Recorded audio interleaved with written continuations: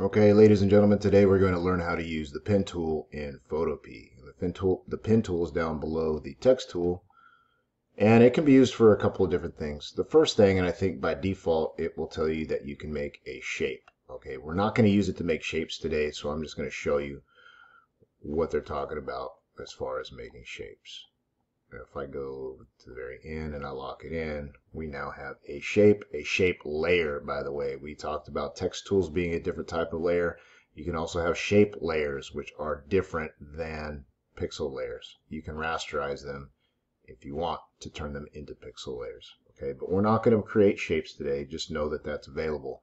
What we are going to do is create a path. So we need to change this setting up here to path Everything else doesn't really matter at this point. And what we're going to do is we're going to use the pen tool to create a selection and we're going to copy and paste this house and the rug that I put in front of it. it doesn't look very good, so I, but I put a little rug in front of it because I wanted you to have to create curves using the pen tool. Okay, so what I like to do with the pen tool is to zoom way in and really learn to use that space bar and the hand tool so you can move around your canvas. But if I go grab the pen tool now and I start making a selection, you'll see that it sort of creates what really we call an anchor point here.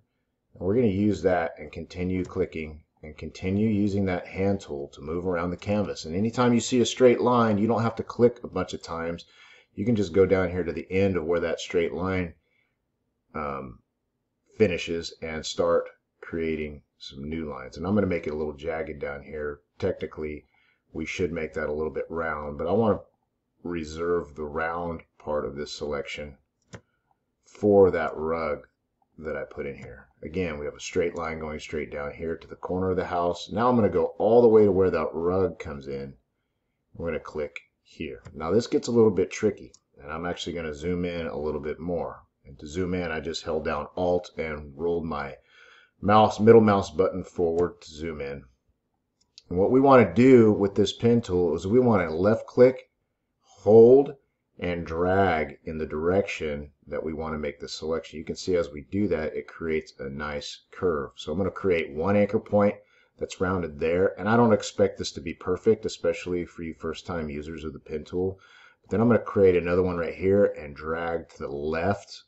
I always drag towards where I'm going to make my set my next anchor point.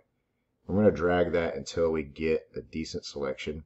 Um, if you hold down shift while you're dragging, it will keep that anchor point, or excuse me, those handles in a straight line. Okay, I'll let go of the mouse button now. Now I'm going to come up here to the very edge, create another one. And again, I'm going to hold down shift to go straight up. And what I'm looking at is trying to get this curve to match the edge of the rug. And now I'm going to go over here. And that looks pretty good. I'm not going to drag that because every time we drag, we create a little round part of the path. When we just click, it creates an abrupt change in direction or a sharp change in direction. So now I think I'll just go straight over here, even though we get some of that ground there. And then I'm going to go up, again, another straight line until we get to this here, straight up here. It gets a little hard to see what's going on back there with these pixels, so I'm just going to sort of make things up. Go to the corner here, and then up, here. And then we want to get back to the starting point and click on that first anchor point. And we're done. So now we have a nice path, excuse me, created around the house and the rug.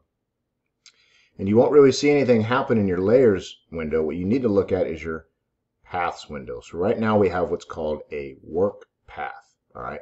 And we want to turn this work path into a selection. So all we have to do is go down here to this icon down here and it'll say selection.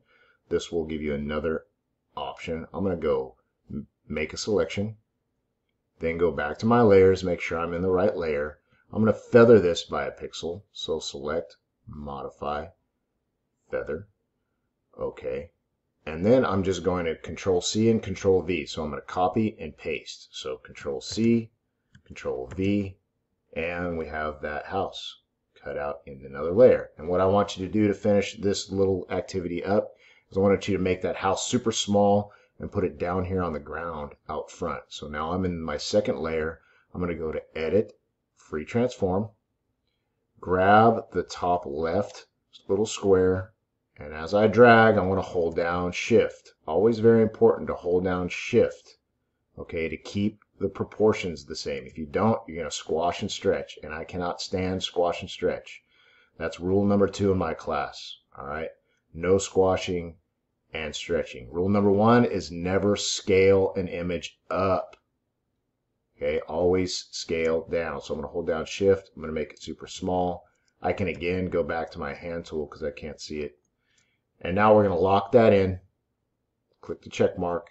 And I'm just going to get my move tool and move it to a different space, maybe down here. It looks sort of silly, but I want you to get used to using that free transform tool um, and holding down shift while you are scaling down. And now we need to flatten this. So again, right click on your layer, go to flatten image, save it as a JPEG, not a PSD file today. Save export as JPEG and always have high quality, 100%, save.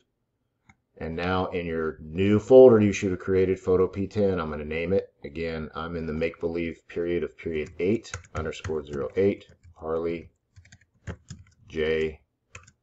And I'm just going to call this pin 01 and save that out. And then you need to go find that, submit it to Google Classroom, and you're done for the day. So that's the pen tool.